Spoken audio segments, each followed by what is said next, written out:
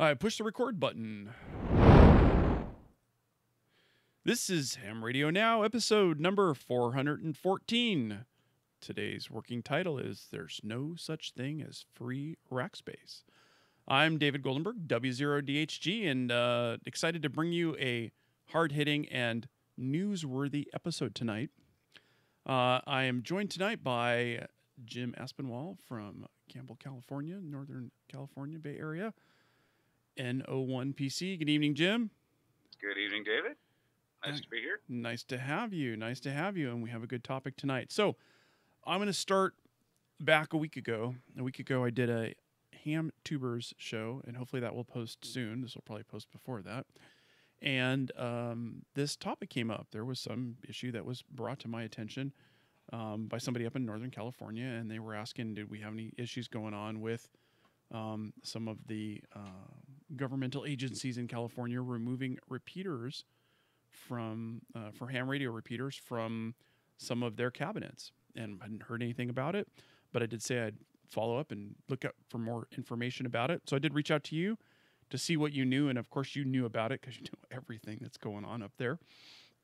And uh, I know we did a little bit back and forth, but before we could do anything more, the stuff hit the fan Like a wildfire. like a wildfire. And I saw this on, I think it was Wednesday morning. Uh, Cal Fire to ham radio, you're fired. Uh, and um, there's a very frustrated t- 10 or 12 minute video about this uh, amateur radio repeater removed from the Cal Fire vault. And you know a little bit more about it. So, uh, what do you know, Jim? Well, this first came to my attention before this video came out.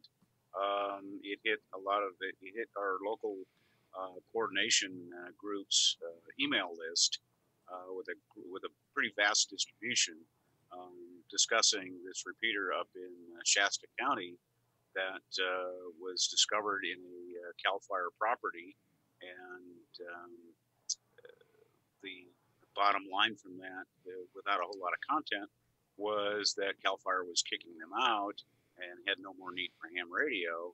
And I said, that doesn't sound right. Um, something is missing in this whole string of events.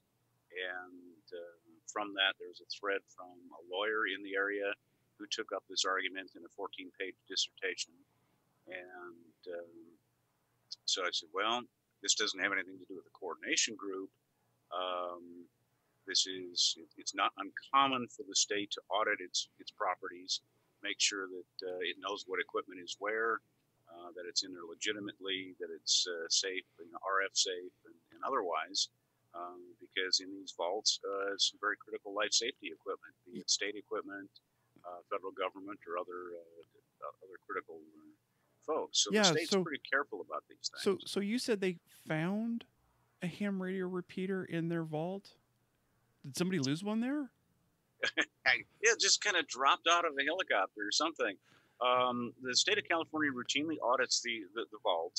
Um, typically, if they're looking for space, if they're going to implement a new system and they've chosen a, an area to put something in, they'll go do a site audit, do a rack space measurement, and go, okay, well, we need 4.8 feet of rack space. Um, you know, is something available? Do we need to buy another rack? Do we need to move somebody around? And it's just a general audit for for finance because there's some cost recovery issues um, involved with these things. And uh, when you run across one that doesn't have the right asset tag on it somebody's going to ask a question. And uh, it kicked off a, a letter from uh, this was brought to the attention of a battalion chief in that area. Um, hey there's there's some gear up here. We don't know who it belongs to. Can you explore this he reached out to another local hand and said, um, "Is this yours? If not, do you have possibly know who it belongs to? Um, we've got to figure out, uh, you know, what you know. We've got to do some follow up, or uh, you know, state property is going to have it. Uh, we're going to have to remove it." And uh, this gentleman admitted, "Yes, uh, you know, I, I know it's there. Um, what do we do about this?" And the recommendation is go to the uh, the state real estate uh, uh, administrator and um, you know uh, apply for uh, an occupancy permit, effectively. So, a uh, you know, contact this Lorena, who's now infamous, unfortunately, in a string of, of messages. Um, she said, "Well, um, we uh, we don't have an agreement with you. We don't uh, we don't show that there's an agency sponsoring you. Um, if it's your equipment and you want to, you know, and the other uh, part of this is highlighted in, uh, in Yeah. this email. Yeah, so I have so I have this uh so I have bring this email up. here, and um, it it's kind of interesting. It it is not what was um brought up in the in the rant video that we're talking about tonight. Uh, it's pretty clear, and, and whether you can see it or not, I'm going to read it. And it says, "Hello, name deleted. I do understand and appreciate all the service that you've provided in the past. However, with constantly changing technology advances, and it highlighted here, there is no longer the same benefit to the state as previously provided. Therefore, the department no longer financially supports ham radio operators or tenancy. If you desire to enter in a formal agreement to operate and maintain said equipment, you must complete and submit attached co-location application along with a fee as outlined on the page one of the application. And then it goes on to talk about the costs, uh, technical analysis, lease, rent, so on and so forth. So they didn't say you're fired. They said there's no free lunch, right? I mean, you know, we found this stuff and it's been there, and and, and you know, there's more to unpack on this. It- it- the whole idea of, you know, there's no longer the same benefit to the state as previously provided. To me, it smells a little bit like someone's drinking the FirstNet Kool Aid, right?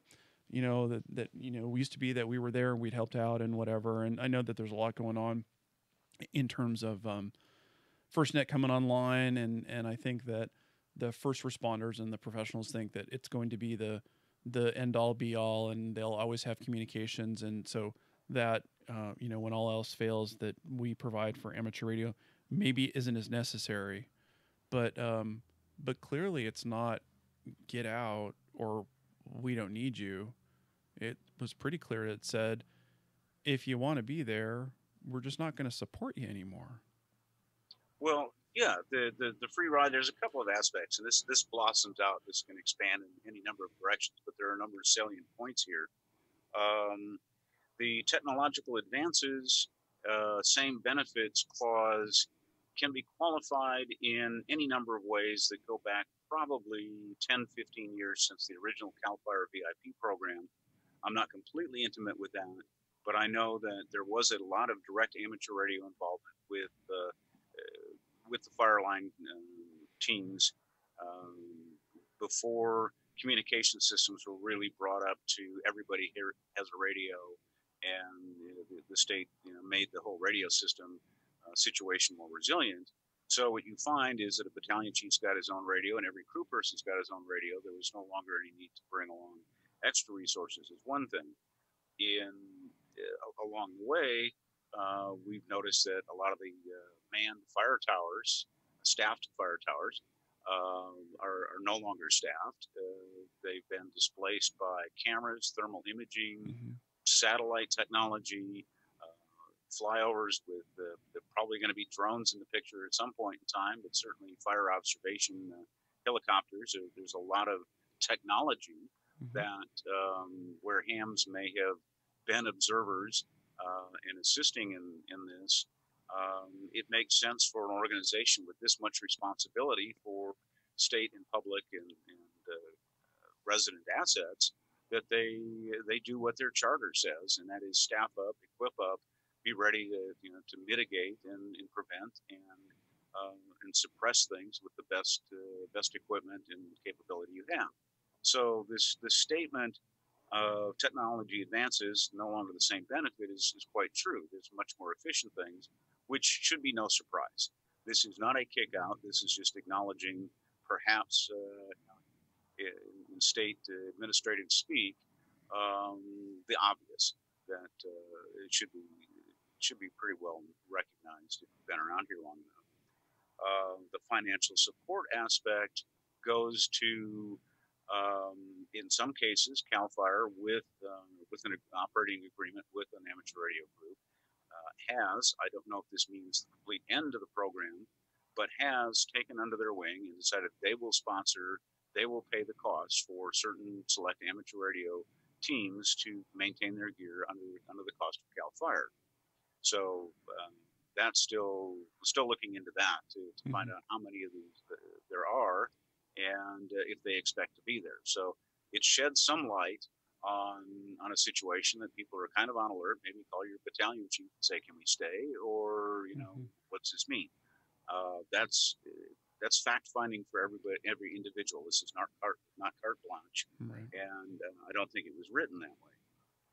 The um, the financial support aspect um, in a lot of the investigation I did, I sort of knew how this worked, uh, but when you talk to the people in the back end, you find out how you know anything in government is funded by by taxes, bonds, or grants. Mm-hmm. You know the money the money comes from someplace. The taxes have got a different set of criteria for accounting for them, uh, which we all have sensitivities to, one way or the other.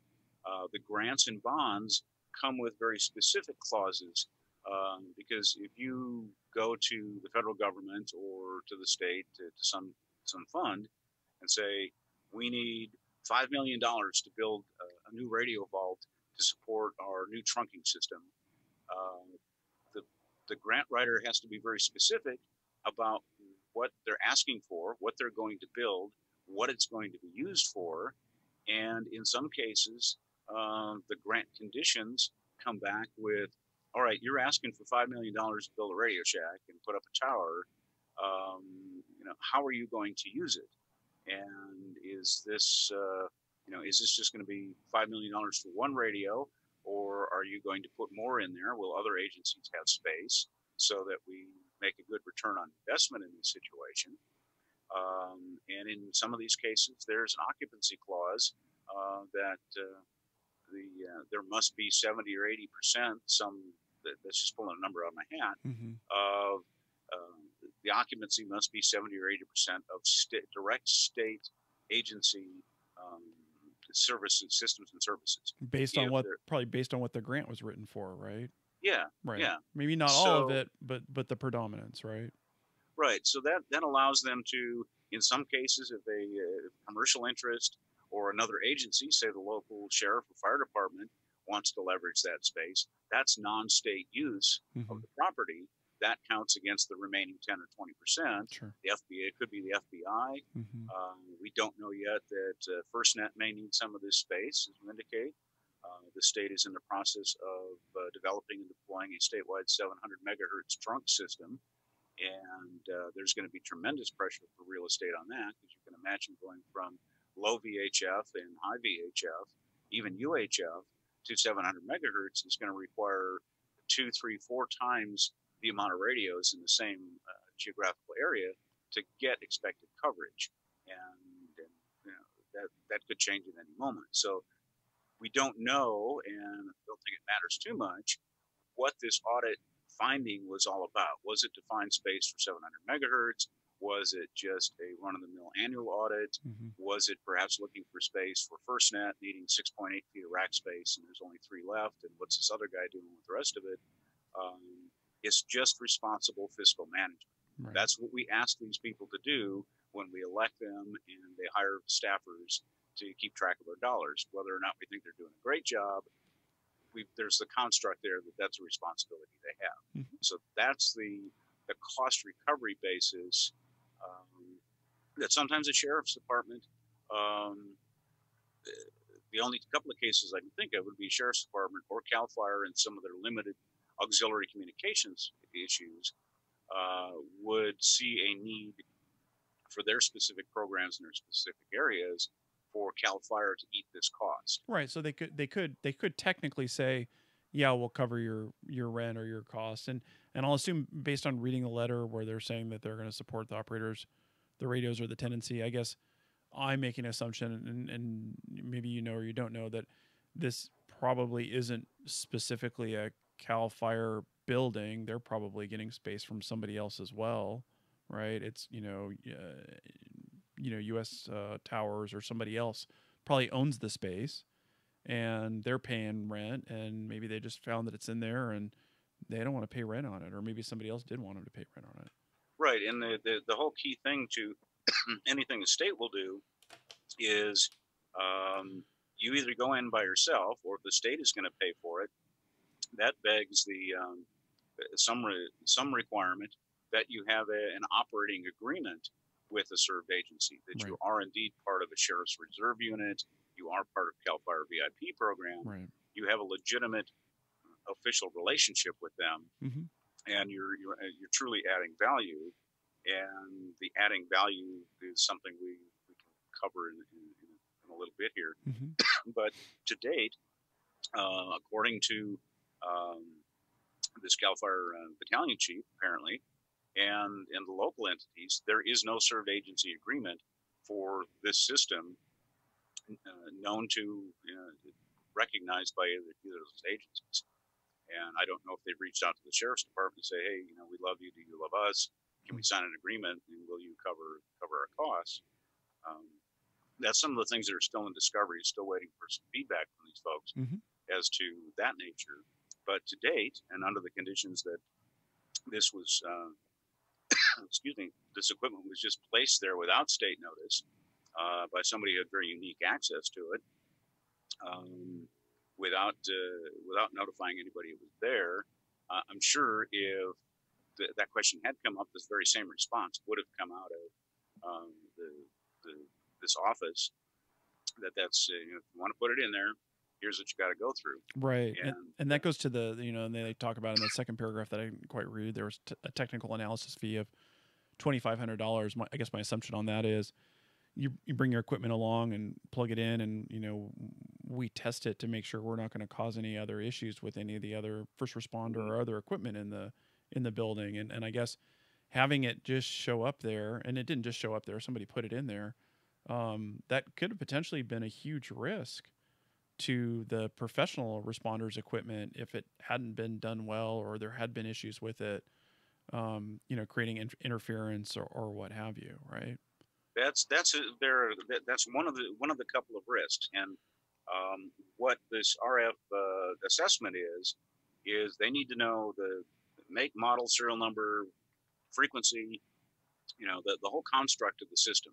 So they can look at it from uh, at, at the very very least uh, a spectral uh, purity situation mm-hmm. they're going to do an extensive intermod survey to see if there's any mixes, not only with what's in that building, but what they know of, of the nearby area, Mm-hmm. so that you know uh, if there's a rusty fence bolt that uh, might be an intermod source, that you're not going to be part of that product. And um, I, to date, I don't know that they have a, a, an equipment quality criteria that you will only put in Motorola commercial gear. Um, but you know, some in some cases it comes to that. In some sites, that uh, you know, you're not going to bring some ham gear or a pair of handy talkies right in, a, in a plastic box and just stick it on the rack. but but they did offer them the opportunity if they wanted to go through that process again they Right. said you know you could have you could do this if you want to do this and and i know you know i'm the member of a of a couple of um, repeater systems down here in southern california the papa is is mostly private but the the DARN network is you know disaster area um, response network that's its goal is in the time of uh, event of disasters they bring it online to help support and it, it's all privately funded. You know I, I write a check every year a bunch of other people do as well. Um, i'm not expecting you know free rack space for any of that. I know you're a repeater owner or you can you get in a lot of free rack space Uh, in a couple of cases with ham-friendly systems, but we we exchange services. Uh, that's So- been one of the traditions that is fading. right Uh, you know, we'll we'll cut the grass in the spring and make sure that uh, we do the hundred foot protection zone. Um, sometimes we'll do tower clean off on demand mm-hmm. uh, to augment their uh, their stuff. We keep an eye on the place, keep the rats out. Um, So no that is, you know, few and far between. Some of those agreements are turning into okay. You know, I've, I've got to make something. You cost me something in electricity. right You know, the, the rack space itself, if you're not in a very packed site, you're not stealing real estate from a commercial customer. You're not keeping revenue out of the building right if the building's got empty space. but you are sucking but- power But but you're still sucking, you know, a couple hundred bucks worth of PG&E at commercial rate, you mm-hmm. know, whatever. You're, and they're paying commercial rates, and especially if there's three phase power feeding that building, that rate double. Right, and and if you're and if you're in a in a you know a, really important site that has some kind of you know public infrastructure on it, they probably have to maintain generators and diesel and other backup stuff that that they're incurring costs that uh, I'll assume that they want to pass along to everybody that's in those buildings. Well, yeah, in some sites the that, that don't have power protection, if a customer comes in and requires it, um, they can either pay more for it to be on the facility, uh, or they can bring in their own, and mm-hmm. it's only for them.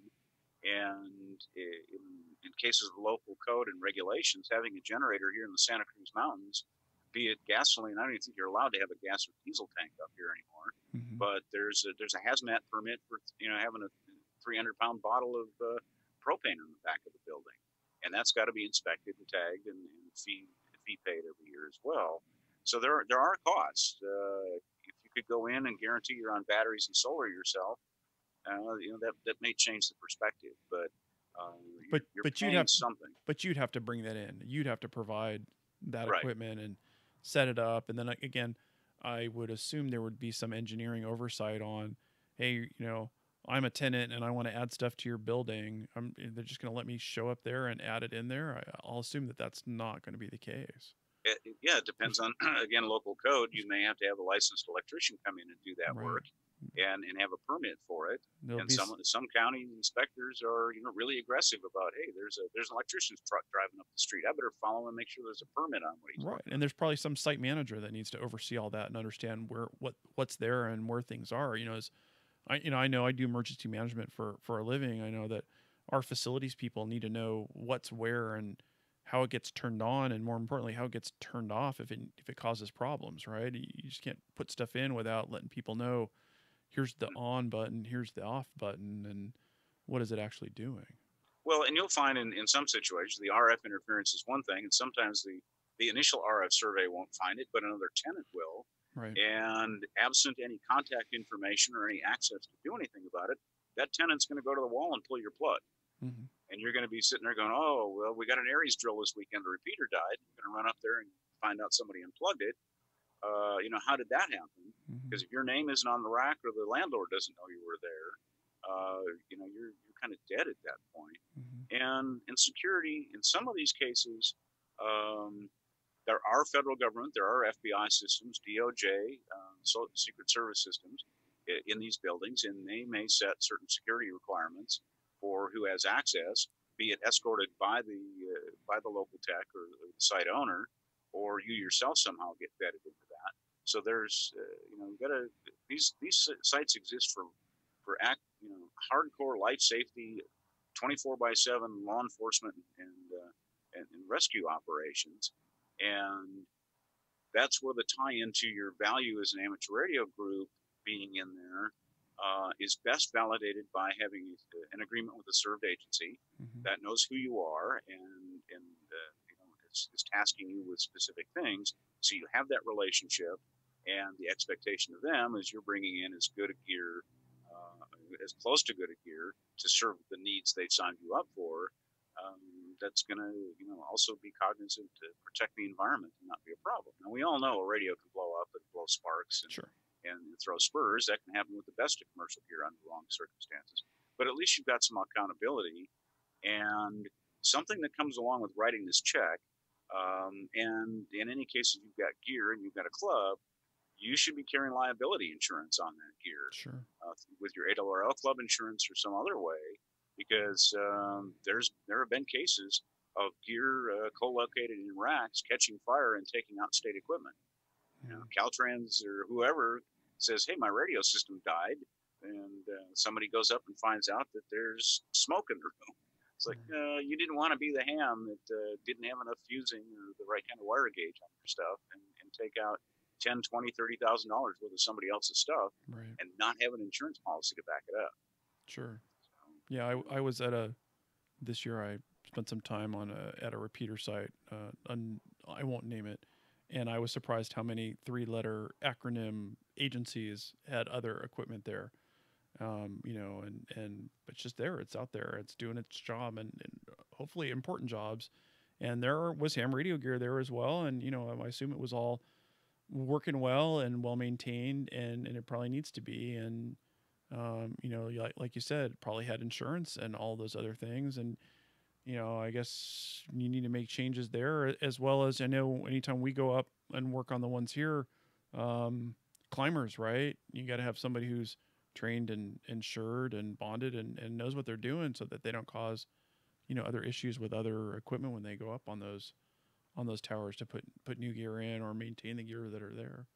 Yeah, it would it, be really ugly that you're going up to hang a hundred dollar common antenna and step on a six hundred dollar uh, decibel products uh, four bay uh, that uh, support CHP and, mm-hmm. and bend it over or you know bust the bust the connector out. And it's very easy in some cases. As much as you do to tie this stuff down, it doesn't take too much of a of a lead foot to pull a piece of uh, RG213 out of an end connector and mm-hmm. leave it open and somebody off the air. Mm-hmm. So part of the part of the whole fee thing, uh, you know, is, is maybe a little bit of a, a, behavioral.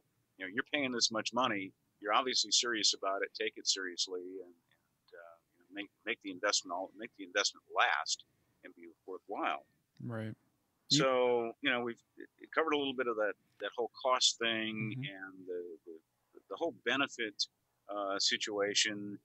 Um, what I was absent some of this, and I'm still trying to figure out, is uh, everybody in, in, the lawyer's letter that was involved with this, in the, uh, the flaming video. Um, there are a lot of claims that uh, the work people have done, the lives they've saved, they're, you community depends on them, and um,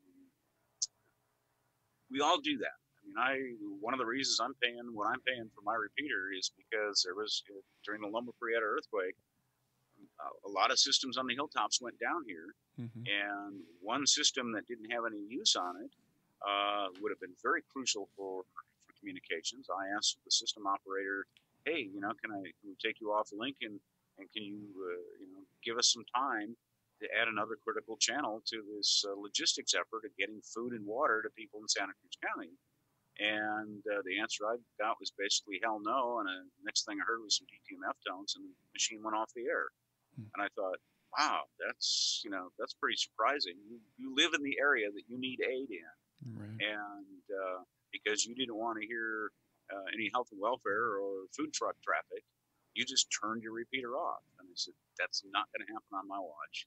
That's that's why we have maybe we overbuild repeaters. There's always conversations in the in the coordination meetings and in ham clubs about well, this system nobody talks on this system for three days, you know, and there's no traffic. It's never keyed up. Well, guess what? That may be the only system that's on the air when the other five break on the hilltop. Right. So there's there's something to be said for having uh, you know equipment at the ready whether or not it gets used. And you want to use it to make sure it still works. But uh, we, we get into a whole bunch of dilemma here about, you know, the ham, ham radio traffic is dead and everything else. But it comes down to what value are you delivering for whom? And uh, we know that not everything that happens in a major wildfire, the Carr Fire, certainly Paradise, is just firefighting and law enforcement. There's situation awareness. There's traffic. There's rescue of animals. There's uh, there's checks on people's houses. Mm-hmm. There's there's a lot of stuff there that are services that are not natively provided by the state or a county or a city. You know, they just don't have a full time animal rescue crew with their own staff, their own trucks, and their own radios. This is where ham radio is most used, is backfilling critical services, but not necessarily services of life safety authority. They're very critical. They're important.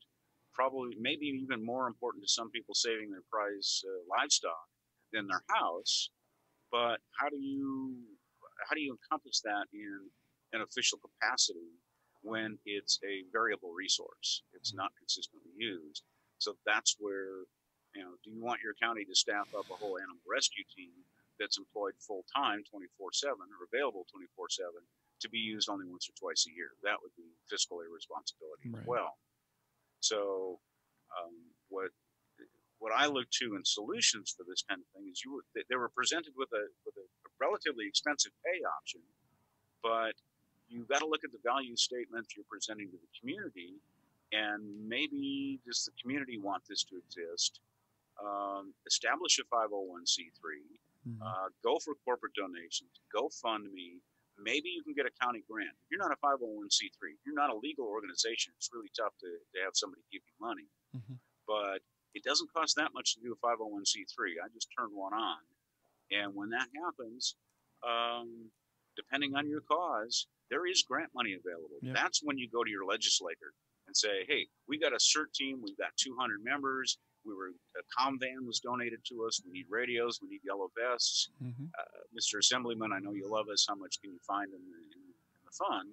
And you may be surprised if fifty thousand dollars just pop out of somebody's pocket because that's money that is allocated in budgeting at some level, either federal income or whatever else that says this is for the greater good. We don't know what we're going to use it for yet, but that's in reserve for special programs that legislators uh, have got access to if you just ask. Right.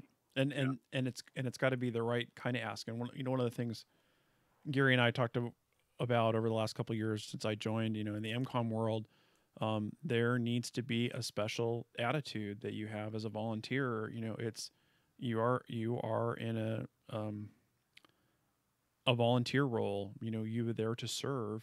You're not there to save the day. You're not be there to be in charge. Uh, you know, you're there to offer your help and, and understand that sometimes your offer of help is going to be rejected and you just need to be gracious about it. If they don't think that they can use you right now you know wait a couple hours or a day or whatever then they'll find a place for you or you'll find a place to, to help out. You know in los angeles our ARES group we serve the hospital system because they need that service. They know they're required to have that backup communications and they don't want to fund it on their own. And so we're there to help them when we can be there and you know we do it with that positive attitude. We're there to help. You don't need us right now. That's great. You know how to get a hold of us. We'll be there. You know i read through um, some of the letters associated with us all and that definitely wasn't the attitude. You know there was a couple of responses back and forth in email in all caps you know looking for answers. We want a solution. We want it. We want you know answers from the mayor or the governor on why you're rejecting us. And it's like really that's not that's not the way to serve your goal or your purpose or your community uh, yeah, and I came up with a couple of keywords somewhere on here, and part of it is respect, dignity, humility, and there was something else I Yeah. tossed in there. Um, I've been a volunteer in public safety for 20 years, um, uh, and, and I get the communications aspect being very, very serious in that realm. Because I signed up my my first department, I signed up only to just to work on the radios. It's a small community. Mhm. Um, I had radio skills. They had a few radios. They had a box of dead pagers. They said, "Hey, can I help you guys out?" Sure. Signed up. Met the captain. Filled out some paperwork. Met the chief. And I said, "Okay, well, you know, now you've got me covered. You recognize me as a member of the department." And uh, I said, "So when do I start on the radios?" And the chief said, "Well, first thing, go down to the supply cabinet downstairs, and the lieutenant will help you out." I said, "Oh, there's going to be a box of dead pagers waiting for me when I go see the lieutenant." And I walk downstairs and say, Lieutenant, I'm, I'm the new guy here to work on radios. And the first thing out of his mouth was, uh, What's your size? And I said, What? He said, What's your size? Boots and boots and coat. And at that moment, he handed me a bunker coat and size eight and a half boots and said, Where do you live? I said, I'm over here in this subdivision. Oh, your your company C, truck 25. Your captain is waiting outside. Go introduce yourself. Welcome on board. Uh, Mhm. I just became a firefighter with all the responsibilities and obligations of learning to be a firefighter because I wanted to help the community out doing radios. Mhm. And you really make sure you fix the radios right when you depend them on, on, on the truck. right Uh, so it's kind of eat your own dog food. And that really set the difference for me from being just a just a friendly ham local handy guy that wants to help out to my life depends on the work I do. And it, changes things a little bit. Now, not everybody's going to get into that life safety situation Mhm. but that's in if you're working with a served agency that's the the attitude the, the, the demeanor the perspective they require. You are part of us. You you have to get our job. You can't come in here and tell us how to pass a message and get a driver's license check. You, you know you our rules now. Right. And and that's very hard for some people to understand and i get it you know well I, i'm not signed up to be a police officer well that's not what you're there for but if you walk into the sheriff's office and say hey i want to replace your entire computer you know, repeater system because uh, my Baofeng is better than your uh, your motorola thing cheaper that's probably not going to fly too well and that's the kind of thing i know gary and you and I have talked about. That, um, there are a lot of ways to be very valuable. Here in Santa Clara County, we've got a, a, a very serious um, qualification program and the ARES program that uh, because they want everybody in every city to be able to function as mutual aid to go to any other city, Mm-hmm. which meant a unified, uniform training program for everybody in the county. And um, that's fine. It really works out well. We do all county drills from all cities, and we all know each other. We, it really helped the relationship. It wasn't a them versus us, this city, that city kind of thing. That was that really has worked out very well. It's a, it's a very uh, a lot of work went into that training program and uh, ongoing training stuff.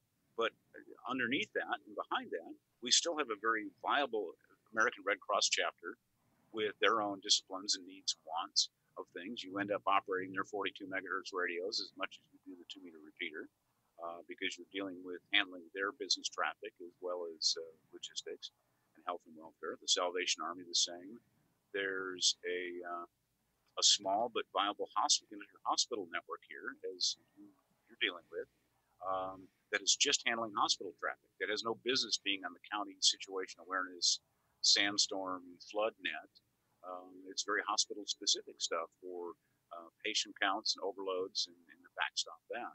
So there's a lot of ways to be of help with, without requiring you know two thousand dollars a year worth of repeater rent uh, someplace. And in some cases, maybe maybe that repeater will do just as well on top of the hospital uh, for your services as it will in a three thousand foot mountaintop. And it's easier to get to if it breaks in, a, in an emergency because you can't get to some of these hilltops in, Mhm. in the middle of an earthquake. Yeah. So uh, we unpacked a lot tonight. I know that there's still some more we're waiting to hear about, um, and and there may be some follow up as we hear from some more of the folks involved that we weren't able to talk to. Um, Well, that's uh, that's responsible journalism. That was the one thing that uh, that when I saw these things uh, starting to explode, uh, I thought, well, where's where's the data? You know, where's where's the facts here? We've got a we've got a letter of complaint and call your legislator, but call your legislator for what? There was, you know, having gone through the the hands-free law thing, I learned very quickly. You don't go to Sacramento, uh, you know, begging for stuff, demanding things happen mhm. you walk in to have a conversation, to learn their concerns, uh, and to work with them to formulate a solution. And if you go hit the governor's office and all these guys with, we want you to do something that they're not even familiar with, you didn't even introduce yourself at the front door. Right. And uh, I'm pretty sure there's a lot of scrambling going on in Sacramento right now because what is this? Why did this come to my desk? Why didn't you handle this you know, Mhm. why wasn't it good enough that you handled it with this letter? Right. You know, what's wrong with your agency and your management plan and your, you know, uh, customer interaction skills that this had to go uh, escalate to the governor's office? That's uh, and your boss will tell you this too. Don't come to me with problems. Mhm. You know, you know, you, you'll, you'll help yourself out and help me out if you come to me with a solution. And and I think there are probably some solutions here. We just need to know, you know, what's really at, at issue besides a, a repeater that got snuck in a cabin. There's Right. more to the story here. Right. And And, in communications planning, again, sometimes you don't need something at 3,000 feet. Sometimes 300 feet or 30 feet is good. mhm. You size you size what you're doing for the for the job, and let's let's engage in that. Uh, you know, if you need four if you need four other frequencies and four things coordinated, well, you know, we, we have uh, we have a coordination team that uh, that can work these things out for you. But if you just uh, if the if the first thing out of your mouth is a complaint without a you know, a, a statement of need and want, then it's going to be harder to, to for you to be be satisfied. So this is kind of a you know an open thing. Like there are a lot of people around who know how to help. Right.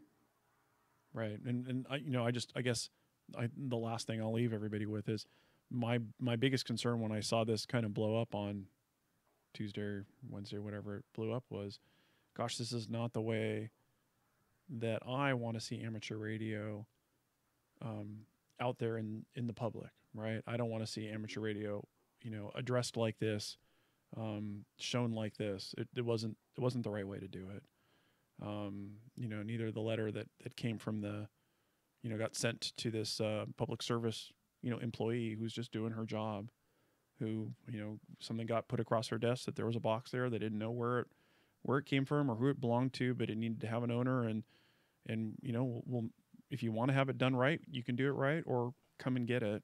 It wasn't take it away, and and to you know go on a rant the way and to act the way they did. It's it, the, those are the kind of folks that they show up at our ARES group, and you know we we put them on the water station, you know, 20 miles out if we put them anywhere at all, because I don't want them dealing with my command center or our served agencies directly because it causes problems. Well, and, and we've all learned that you know we're uh, at least in the, in the services I've been in is if you start if you see the news van show up, go disappear, scatter. Yeah. Because you don't want to be you don't want to be the face that says something wrong on Channel Three News right. at six o'clock. Yep. And that's exactly what happened here. Is uh, somebody got you know somebody made themselves famous and uh, and and made uh, yeah, a lot of the comments that went with that were from people out of state who just took us took a snarky shot at California. Right. Yeah, California is so background backward that you know they don't have a good enough communication system. And I tell you, we got some of the best communication system and, and, and people working on it of any state in the nation. We have to have. Right. You know, we, we wouldn't be. Uh, you know, I mean, this is tech country, so Yeah. we, we know how to make those investments in technology. And the priority is to look out for um, the law enforcement and the life safety stuff Mhm. and the budget. And anything else is give me a reason this is important to the state and the community. And I'm pretty sure if you approach this the right way, there's going to be a lot of support for you out there. Right. I, I could have seen I could have seen our organization taking this opportunity to go do some fundraising and to talk to our you know our senator or our representative to say hey how can you help us fund this so that we can make this right Well, And- yeah, and, and the knock on the governor about this, the governor didn't make this decision. He, it, when all when all these statutes about emergency services and re- resilience plans and things like that came up years and years ago, uh, you know, Newsom probably wasn't even mayor of San Francisco at the time, right so he's not to blame. Mhm. And if you look at uh, what he has offered in terms of resiliency funds, resiliency basically means, uh, well, here's a little money to, to take care of yourself because we know we, you know, that maybe we're not going to be able to immediately. But he he put the olive branch out there. He gave you money that you know six months ago. That ding, wait a minute, that's the first place I would have gone. Is hey, the governor said I've got I'm allocating so many millions of dollars for resilient community resiliency. Mhm. How much of that do you do you think you should ask for uh, to support this? And so it's not like the state isn't doing anything. It's you have to figure out how to get them to do it. right right all right well we'll keep talking about it offline and if something else hits we'll uh we'll bring you another episode or or at least a couple little news short shots i'm going to take a quick opportunity to uh, do a little advertising here on my own if uh, you want to find us online you can look at hamradionow.tv or you can find me on facebook at hamradio now um, as well as jim's uh, group on facebook is Amateur Radio Elmer. Amateur Radio Elmer. So look us up online, and we're gonna post this video up there.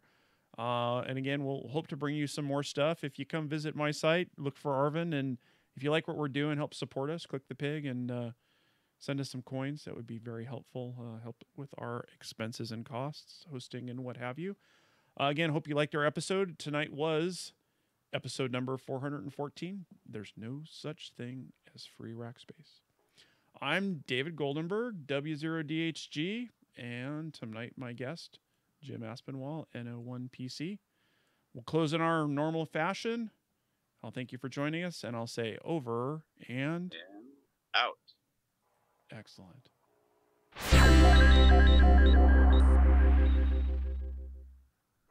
Just wait for the fade away. supposed to fade away. Up there it goes. Someday I'll get a sound effect.